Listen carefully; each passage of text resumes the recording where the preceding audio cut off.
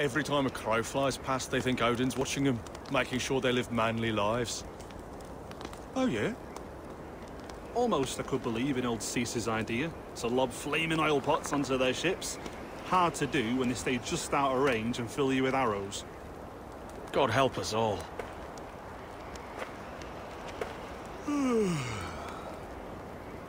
We really need some of the old wisdom these days. I always make sure to invoke Woden, just in case. Even after applying leeches. So much for Bishop's Wort and a few prayers. Modern medicine really has advanced beyond my ken. It's all ginger, garlic and radishes now. Some martyr's knob round your neck.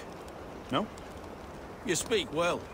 Still, comes a time there's naught for it but bitter herbs steeped in old sheep's piss. Foul of the taste, better the healing. You know, it's getting to the point they'll try most anything. I heard they fed him boiled fox gall.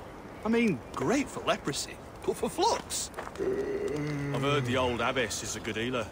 She's all for the modern approach.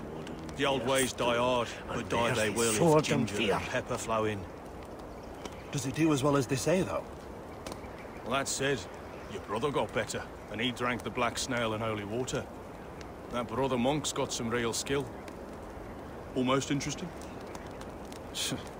Not so many ways we can make the evenings more interesting out here. At least we've got some food. Once we see these Danes settled, one way or the other, then God willing, I'll take the woman, go back to Fagranforda. The soul craves peace. Where's the lad? Hmm. Must be tower duty.